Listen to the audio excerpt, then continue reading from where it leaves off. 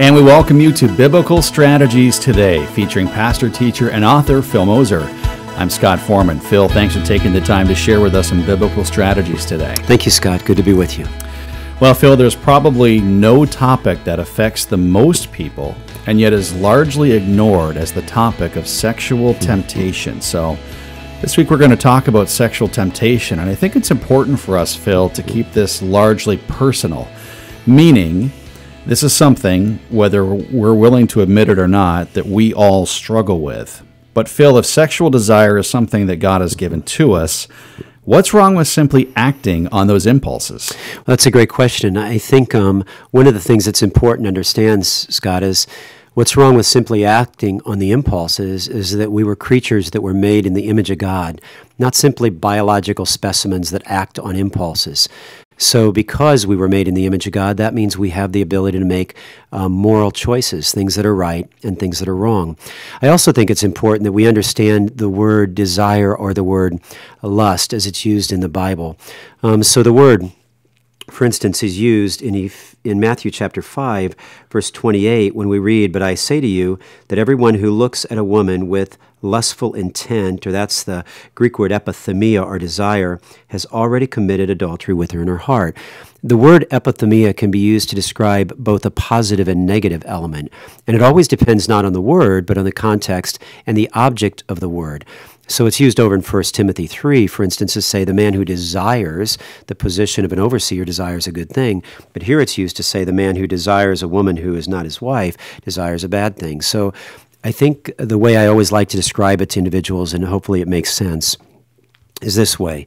Um, for a man to desire quality time with his wife, is that a good thing? Sure. Yeah. For a man to desire quality time with another man's wife, is that a good thing? No. And see the difference? I've given you the same sentence. The only thing I did was change the object of the desire. God has allowed for sex within the confines of a marriage between uh, a man and a woman, um, singly devoted to one another in marriage, to be a very good thing. But there's parameters on that particular relationship outside of that. Now, I'm going to try to jam 300 years of history into about 60 seconds. Okay, here we because go. I th- okay, because I think what happens is people tend to real they don't realize how influenced their thinking has been by hundreds of years of culture. So in the 18th century, there was a man by the name, a German theologian by the name of Friedrich Schleiermacher, and Friedrich Schleiermacher is known for the fact that he said man didn't have to be subject to the scriptures because he questioned the authenticity of the scriptures. So he begins to question whether the scriptures are genuinely from God. And when he does that, his application is you're not subject to them. Okay? Now, fast forward the tape about 100 years or so, and along comes a guy by the name of Charles Darwin. Darwin said man isn't created in the image of God because why? Because man evolved. So just think about this. You're not subject to the Word of God, 19th century, 18th century thinking. Now you're not subject to God because you're not made in His image. You simply evolved. Uh, that's 20th cent- that's 19th century thinking under Charles Darwin. And then one more name I'd like to add to that list is a guy by the name of Sigmund Freud. And Freud said, listen, if you're not subject to the scriptures, like Schleiermacher said, and you're not made in the image of God, like Darwin said, then there is nothing left to your identity but your desires. There's nothing else. So your identity is determined by your desires. If you sexually desire to do something, then feel free to go ahead and do it.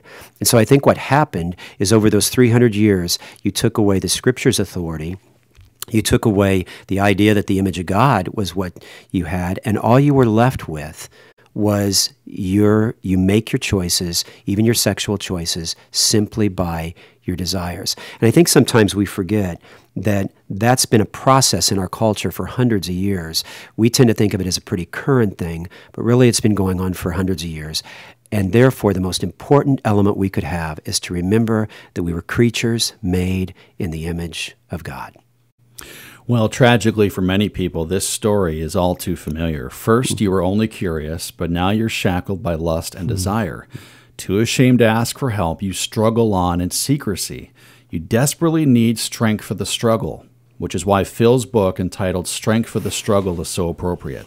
Strength for the Struggle examines sexual temptation from the scriptures and offers help for standing against sexual temptation through the example of Jesus.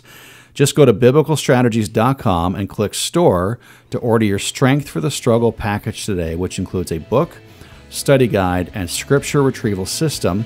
Also, you'll find this on Amazon also, so you can search on there on Amazon. Or you can call us toll free at 877 772 1992. That's 877 772 1992.